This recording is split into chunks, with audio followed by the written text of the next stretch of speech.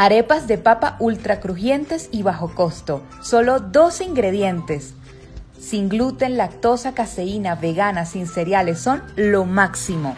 Forma un puré en caliente con las papas cocidas. Agrega una cucharada de ghee o de aceite de oliva.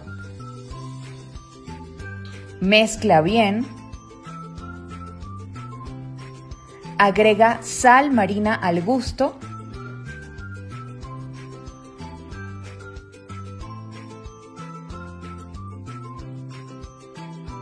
Agrega media taza de almidón de yuca, papa o maíz. Estamos utilizando almidón de yuca bioplaza para que realmente sean unas arepitas libres de cereales, especiales para las personas que tienen tantas restricciones. Si la masa está muy seca, añade agua y si está todavía muy húmeda, añade un poquito más de almidón.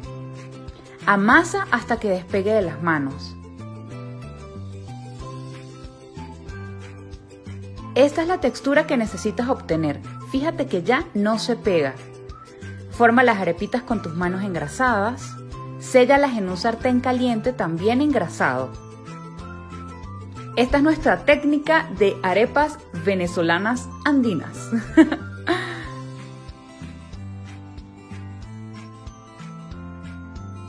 Perfecto. Ok, ahora vamos con los secretos. Séllalas en sartén o plancha caliente. El secreto para que se inflen es que las cocines en horno, 180 a 200 grados de acuerdo a la fuerza que tenga. Este es el sonido de la gloria.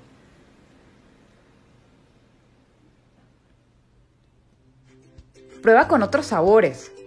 Ahí la creatividad la pones tú. Cebollín y especias. Sigue la preparación anterior y listo queso de cabro parmesano. Séllalas en la plancha o sartén y si no tienes horno, tápalas bien. Prueba con el tostiarepa. Están súper rápido y listas en minutos.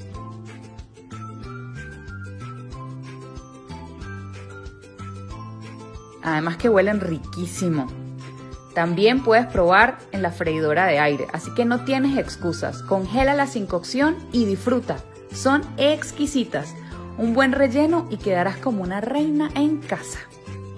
La cocina de Carla y Maffer, ideas creativas para tu dieta especial. Esperamos que les encanten, así que ayúdanos compartiendo este video. Un abrazo. Te esperamos en nuestro próximo taller online ABC del pan sin gluten el 13 y 14 de febrero, para que aprendas a preparar todas estas maravillas con nosotras.